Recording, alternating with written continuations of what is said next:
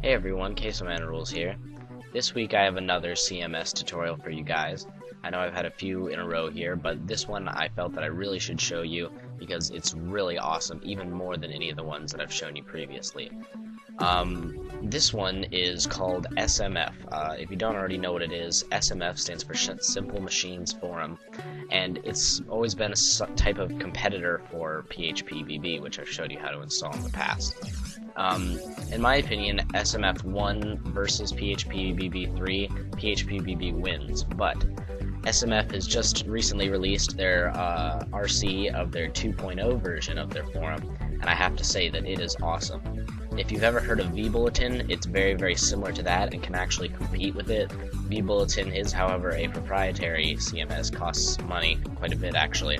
So if you're planning on buying that, you might actually want to check this out because it's very nice and definitely compete with it.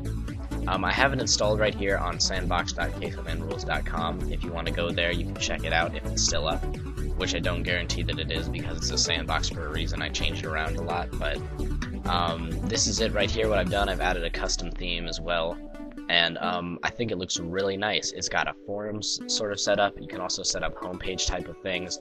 It actually is very, very, very similar to vBulletin. Um, and vBulletin, like I said, is expensive and really nice, so this is really cool. Um, so I'm going to show you guys how to download and install this today, and then I'm going to show you some basic features as I have in my other CMS tutorials. So you can get it from download.simplemachines.org and you'll end up at the top just scroll down to the download SMF 2.0 RC 1.2 and you're going to want the full install go ahead and download the zip and download it after you're done with that go ahead and unzip it and you will get a bunch of files like the ones right here now what you need to do is upload it using your FTP client to your website or wherever you want to install it on your website. I have it installed for this tutorial on smf2.quesomanrules.com. Just uploaded all the files a few minutes ago. So now that those are done and you've uploaded it, it's about 1500 files, so it's quite a bit. It can take a while. But after it's all done, now we're ready to go install it. So go to where you installed it to. I did to smf2.quesomanrules.com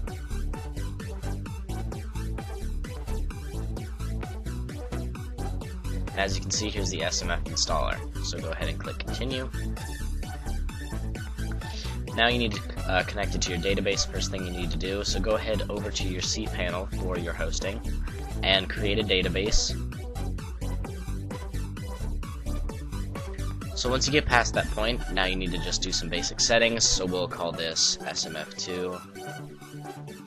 That's the domain as I showed you earlier. Um, you can choose whether you want whether you can choose whether or not you want to use gzip, which I recommend because it can increase the speed of loading for the pages. All of this can probably stay the same, but if you don't want it to, or you want to enable stats or whatever, you can.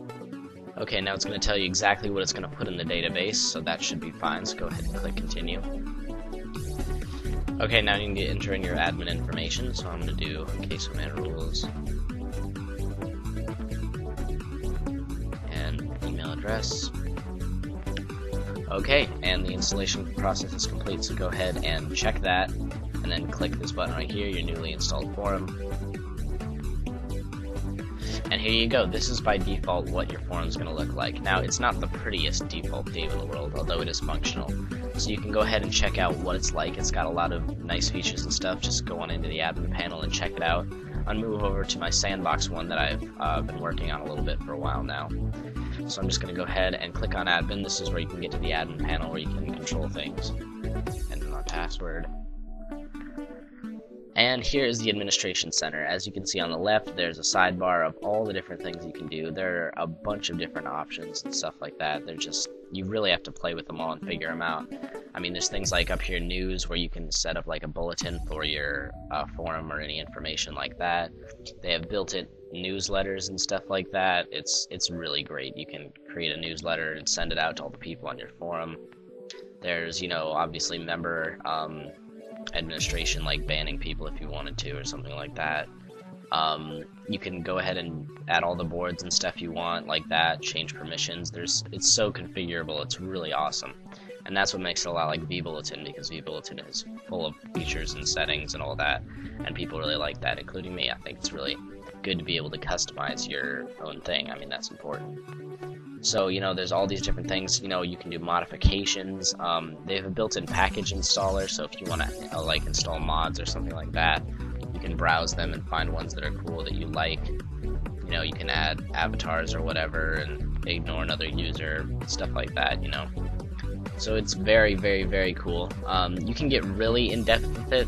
Um, a friend of mine, um, he's actually at Nick Budi on uh, Twitter, and he's the one that found uh, this CMS, and it's really cool. Uh, we've created a um, clan site for Counter Strike together. Um, actually, he created the site, but um, I'm in the clan. And um, you can see it right here. This is what it looks like right now. He's gone and customized it to another level where there's actually not like a forum on the homepage. It's actually like a homepage, and then you can go over to the forum and stuff like that and um, it's really cool. He's a really cool guy. Actually, you should check him out. Follow him on Twitter. He posts tech information and stuff like that sometimes. So it's pretty cool. Um, I'll post his link in the description. So um, it's a very very cool CMS. You just I, I, know I'm not going really into depth, but if I started, then I would never finish because there's so many options and stuff like that. But just check it out, guys. It's really cool, very useful. If you were thinking about buying vBulletin, you really might want to check this out first because it can save you a lot of money and give you just as good results. So that's about it guys, thanks for watching this tutorial on the Simple Machines Forum 2 release candidate. Very good CMS and can be very useful especially if you want a vBulletin-like interface. So I'll see you guys in the next tutorial. This has been Quesoman Rules. See you next time.